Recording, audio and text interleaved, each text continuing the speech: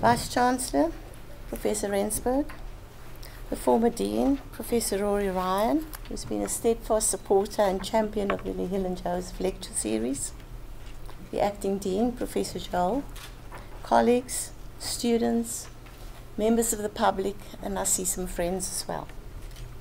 I'm honored to deliver the Helen Joseph Memorial Lecture this evening on a topic I believe Helen would have approved of, as she was an unwavering advocate of social rights, welfare rights, gender justice, and a more equitable and democratic society. The CSDA recently conducted research of voting behavior um, of grant beneficiaries in Doornkop in Soweto and Riverlea uh, and Riverlea on our doorstep. Both areas have high grant uptake, but are different in terms of population groups, Riverlea having 50% uh, more so-called colored people, and party preferences. In the local government elections in 2011, the ANC received 90% of the vote in Doornkop, while 40%, 7% supported the ANC in Riverlea.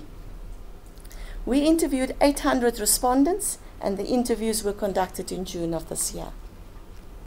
Now, although many respondents knew their rights, which was interesting, half of the total number of respondents that we interviewed in both these communities, um, a significant proportion, 27%, thought that they would lose their grant if another political party came to power. And 10% thought that it was a possibility. So grant beneficiaries held this view more so than non beneficiaries.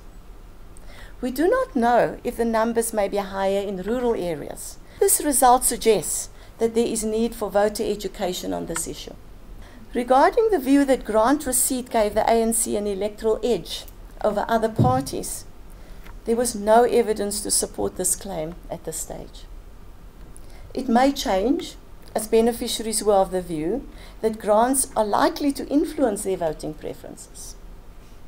There is some evidence that voters are basing their choices on rational decisions, motivated by their personal interests, but no relationship was found to exist between being a grant beneficiary and identifying with a political party.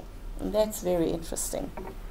Respondents also did not think that grants were a form of bribery. Similarly, two thirds of all respondents held the view, and I think this is very interesting for people from the Department of Social Development. So we asked the beneficiaries, um, uh, the respondents, whether they thought that handing out food parcels before an election amounted to vote buying. And the majority of beneficiaries were of the opinion that grants help poor people, help poor people. When asked, the question was if an election, if an election were held tomorrow, which party do you think you would vote for? A total of 56% said they would vote for the ANC, 19% for the DA, and 8% for other parties.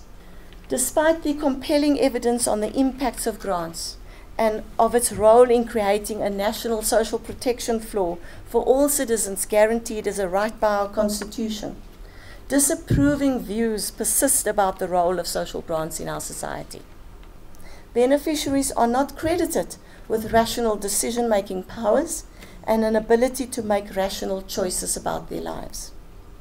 And neither are they perceived to be active citizens with rights and duties.